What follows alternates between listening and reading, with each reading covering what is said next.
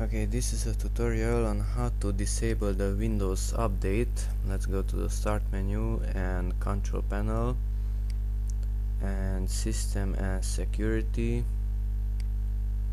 and Windows Update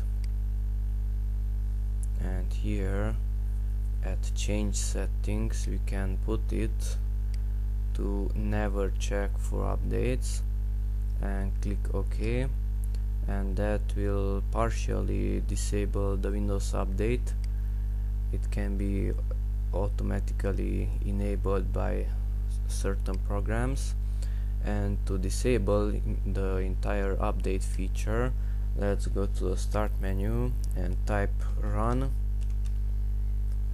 And then choose this run and type services.msc so it's services.msc and click OK.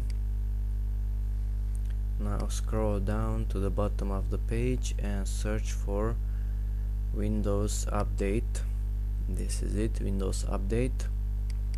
Double click on Windows Update and set it at startup time set it to disabled.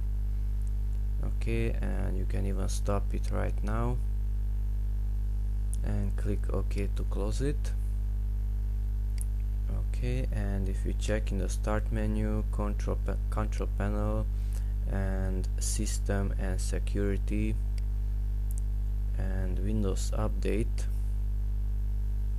Now it's red and if you want to check check for updates up here check for updates then we get this error message that the Windows update cannot currently check for updates because the service is not running. The service we just stopped. Okay so this won't work anymore unless you enable the update service. Okay that's it. Thank you. Bye bye